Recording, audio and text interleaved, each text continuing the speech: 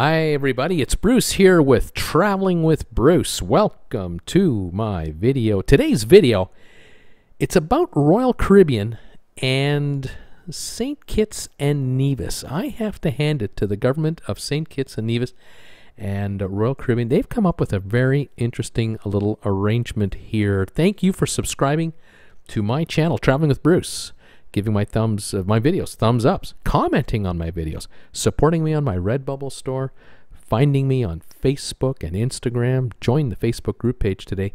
I administer that thing, so come on over there. Um, and also a special thank you to all of you out there who are sponsor members of Traveling with Bruce.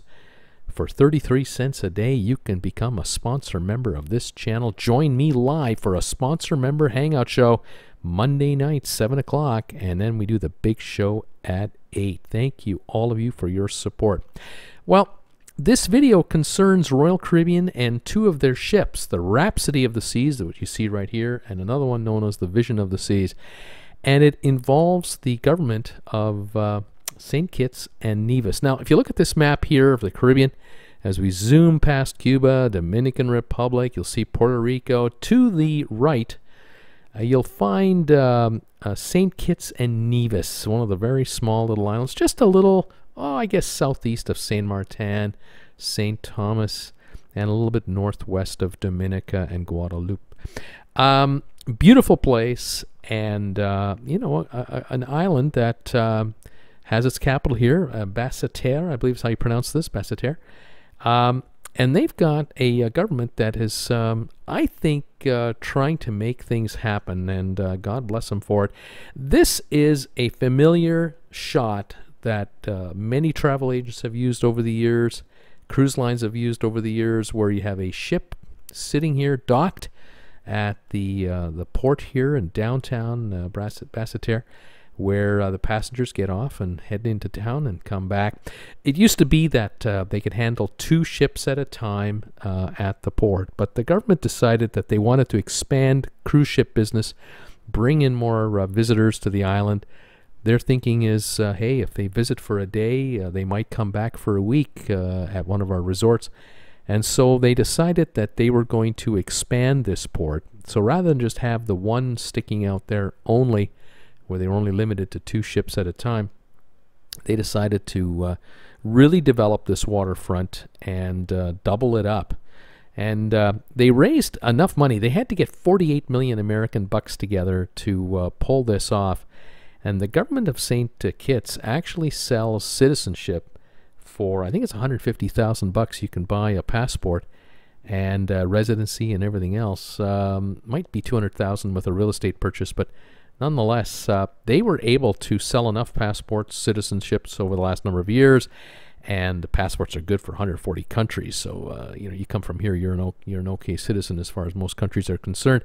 Um, they were able to build the second pier. Here it is, right here. This is, uh, I, I believe, this is an artist rendition, if I recall, but in any event, they can now handle three Oasis class ships at a time and a fourth ship. And so uh, down the road, when cruising begins again, hopefully, they will be able to handle thousands of people a day who can just walk on, walk off the ships right into uh, right into the downtown area, or take a tour, go golfing. There's lots to do here.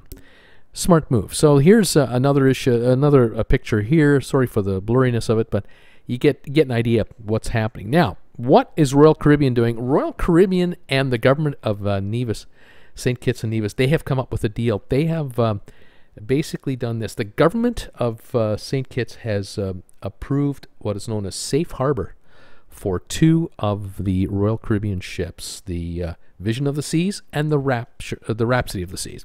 The two ships will dock side by side uh, in downtown uh, Bass- Basseterre, and with 70 crew members each, will basically hang out here for quite some time, uh, from what I can tell anyway, cer- certainly several months.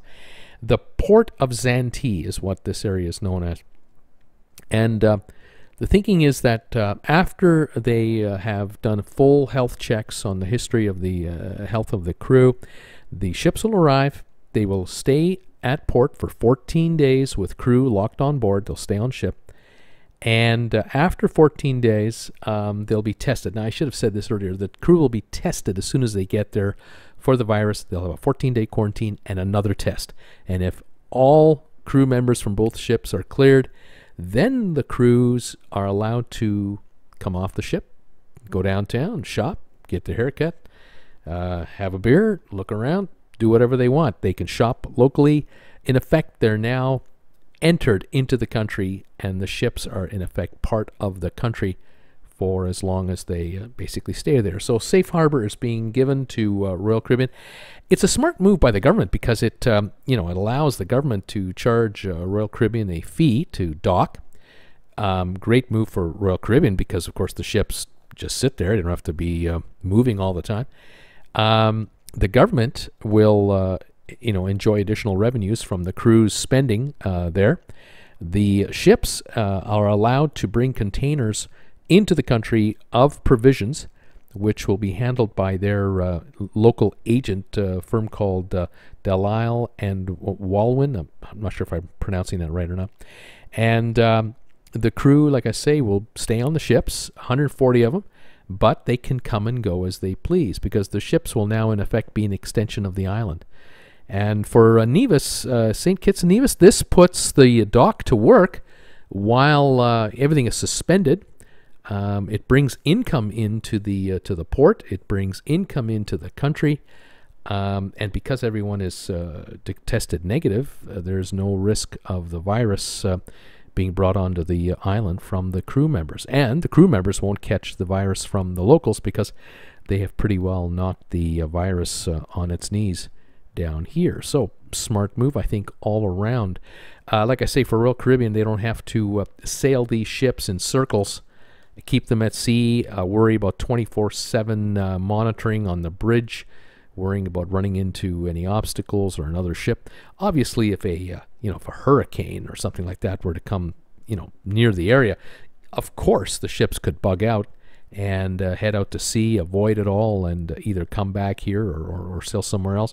And obviously, uh, when sailing resumes, you know the ships will uh, will be sent to where they have to go to pick up crew members, and then eventually pick up passengers and start an itinerary. But this being August 2020, uh, we may not see sailing for these two ships well into 2021, so they might be here for four, six, eight months depending just on uh, a lot of conditions uh, going forward. Now, I have speculated before that both of these ships are getting older and they do have a lack of balconies, and uh, they run the risk of someday being uh, either sold off or scrapped uh, because they are getting on. But at the moment, uh, Royal Caribbean has plans to bring these ships back into business, and in the meantime, they have to find a place to keep them and keep them safe. And uh, this is the arrangement that they've made. So, good move for both parties. Beautiful place, and uh, hope you enjoyed the pictures. Thank you for joining me today. Uh, hope you enjoyed this video. If you did, give it a thumbs up, and please consider subscribing to Traveling with Bruce. And we'll see you Monday nights, 7 o'clock for sponsor members, 8 o'clock on the big show. And we talk cruising there. Thanks for joining me today, everybody. Have a good one. Bye for now.